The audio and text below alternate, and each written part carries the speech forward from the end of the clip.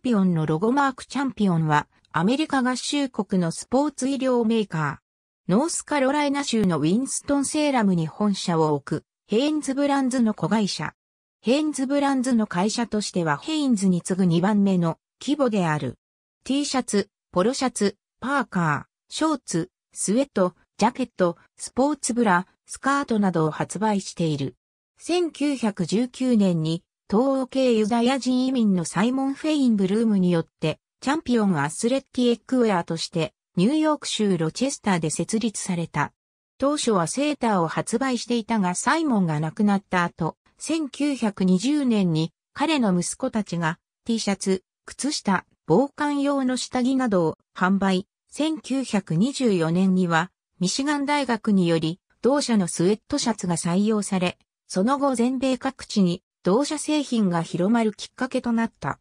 1938年には同社のリバースウィーブが特許を獲得した。メッシュのシャツを最初に開発、パーカー、スポーツブラなども他社に先駆けて開発している。スポーツブラのサイズは 32A から44、トリプル D までを備えている。1967年に社名がチャンピオンニットウェアカンパニーからチャンピオンプロダクツ社に改められた。1969年に現在も利用されているロゴマークが出来上がる。1989年にサラリーコーポレーションの参加に入り、ノースカロライナ州ウィンストンセーラムに本社を移した。1992年にはバルセロナオリンピックに出場するドリームチームの公式ユニフォームサプライヤーとなり、1994年リレハンメルオリンピックのアメリカ合衆国選手団の公式ユニフォームサプライヤー、同年のバスケットボール世界選手権でのドリームチーム2、1996年のアトランタオリンピックでのドリームチーム3のユニフォームも提供した。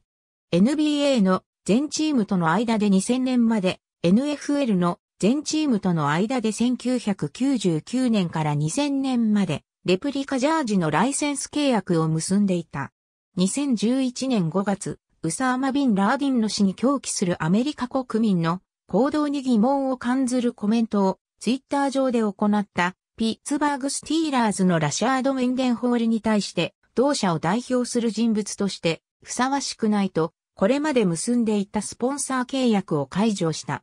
なお、メンデンホールの発言に対しては、スティーラーズの球団社長、アート・ルーニー2世や、同僚のジェームズ・ファリアーから理解しがたい、軽率な振る舞いであったと苦言を呈されている。日本では1975年にゴールドウィンが契約を結び一時は200億円以上の売り上げを記録したが2011年現在は数十億円の売り上げとなっている。日本で行われた2006年バスケットボール世界選手権でも、オフィシャルスポンサーを務め、およそ4500人に及ぶ大会ボランティアへのスタッフウェアが代理店の日本サラリーより配布された。